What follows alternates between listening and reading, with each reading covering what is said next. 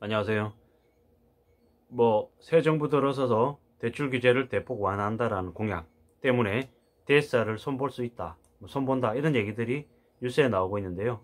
실제로 그 DSR이 조정될 가능성이 없습니다. 뭐 총부채 원리금 상환 비율 DSR을 조정한다라는 건 사실상 한국의 경제를 그냥 내 팽개치겠다라는 얘기하고 똑같죠. 그리고 누가 됐든 간에 그러한 것들은 쉽게 되기 어렵다라는 거죠. 뭐 LTV 조정한다? 뭐 이런 것들은 사실 LTV와 DSR을 택해서 이렇게 할 수 있는 거다. 뭐 이렇게 얘기하지만은 뭐 대출이 덜 나오는 쪽으로 적용하는 거기 때문에 뭐 LTV를 아무리 높이더라도 소득이 낮은 사람은 DSR 제한 때문에 대출을 받을 수 없죠.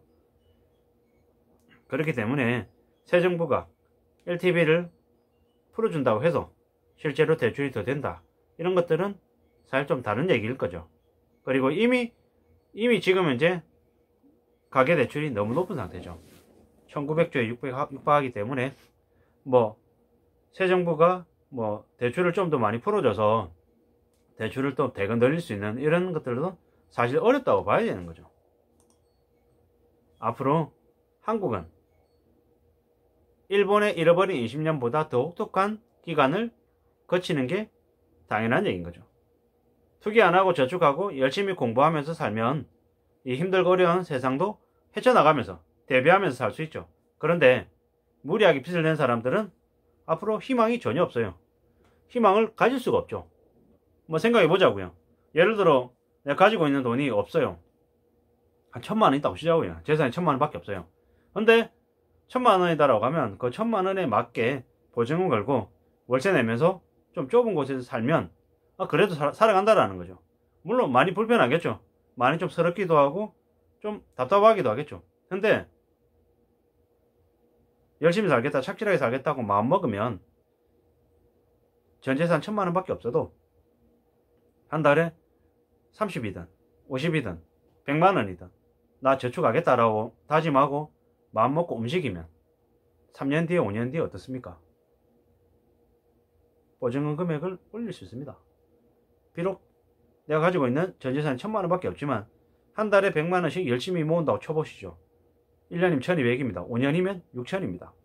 그러면 5년 뒤에 나의 자산이 천만 원에서 7천만 원으로 6천만 원이 늘 수 있죠. 근데 그 사람이 5년 뒤에 재산이 7천만 원 되는 걸로 끝날까요? 아니죠. 그 이외에도 또 5년 지나고 또 5년 지나면 재산이 1억이 되고 1억 5천이 되고 2억이 될 수 있죠. 그 이상이 될 수도 있고요. 그 돈은 목숨 줄과 같은 돈이죠. 근데 부모에게 예를 들어서 3억을 받았어요. 되게 큰 돈이죠. 근데 그 3억으로 뭐 전세를 살고 이러는 게 아니고 좀 더 욕심을 내는 거죠. 8억짜리 집이 보이는 거예요. 주변에. 5억을 대출받아 샀어요. 3억을 내가 피땀 흘려서 모은 돈이 아니기 때문에 그냥 3억은 있는 거고 5억을 빚내서 8억짜리 집을 사는데 5억 대출을 그렇게 크게 생각하지 않는 거죠. 어, 이자 받더니 2. 몇 프로예요. 어, 이자 비용으로 했을 때 뭐 1년에 뭐 천만 원 뭐 조금 더 되네. 어, 괜찮네. 어, 월 한 이자로 한 100만 원좀 내는데 어, 되게 괜찮은 아파트 사놓으면은 나중에 매덕이 오른대. 그리고 실제로 계약할 당시에도 뭐 5천만 원 이렇게 오르고 있어요. 어, 이거 사는 게 내가 잘한 거구나. 라고 생각하고 사요.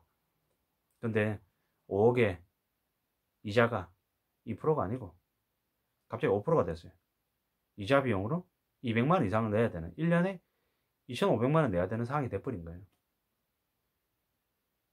또 시간이 지나니까 갑자기 시중 이자가 5%가 아니고 8%가 돼요. 그러면 1년에 이자를 4천만 원 내야 되는 말도 안 되는 상황 걸리는 거 되는 거죠. 그냥 빚을 냈기 때문에 거절할 수 없고 어떻게 해결 안해 나갈 수 있는 길이 없는 거죠. 집을 팔면 해결할 수 있는데 그게 또 자기 뜻대로 안 되는 거죠. 이게 딱 극명하게 보이는 예시인 거죠. 빚 안 지고 자기 범위 안에서 조금 조금씩 주거 환경이든 아니면 자산이든 모아가는 그런 모습은 되게 멋있고 좋아 보이죠. 근데 뭐 단번에 큰 빚을 져서 뭔가를 해보겠다라고 하는 건 사실상 도박 행위죠. 모험이죠. 근데 그렇게 쉽게 모험을 걸어가지고 상이 확 나아지는 경우는 없죠. 과거에 하우스푸어도 그랬잖아요. 2010년에서 2012년, 13년, 14년 이때 하우스푸어들이 그랬죠. 자기 돈 4천만 원 가지고 4억짜리 집을 샀어요. 뭘로? 4천만 원 그냥 계약금이었던 거예요. 3억 6천만 원은 중도금, 나중에 입주할 시점 돼서 잔금 대출하고 또 전세자 받아가지고 떼었던 거죠. 다들 그렇게 똑같이 그렇게 다 생각하고 다 뛰어든 거예요. 근데 나중에 전세세 입자가 안 들어와요. 무슨 일이 생깁니까? 3억 6천만 원 대출 받아가지고 해야 되는데 이게 틀어진 거죠. 근데 그걸 한 채를 그걸 한 채를 그렇게 사서 그렇게 굴리겠다라고 생각했으면 괜찮았죠. 근데 욕심 욕심을 불러서 세 채, 다섯 채, 일곱 채를 그런 식으로 갖고 있었던 거예요. 더 심한 경우는 계약금 10, 계약금 10%도 그냥 마이너 대출 받아가지고 한 거예요. 자기 돈 아닌 거죠. 그냥 전부 다 빚인 거예요. 이게 어떻게 계속 유지가 되고 버텨지냐고요. 너도 나도 다 그러고 있으니까 그 지역 일대 그 아파트 단지에 뛰어든 사람들의 70% 80%가 하우스포 초토화된 거죠. 제 지인 중에도 그렇게 되게 많이 이제 집을 여러 채를 굴리다가 나중에 경제적으로 되게 어려운 상황에 처했던 지인도 있죠. 그나마 그 지인은 그래도 일을 하고 있었기 때문에 지금은 어떻게 사냐? 새벽까지 출근해서 새벽까지 일합니다.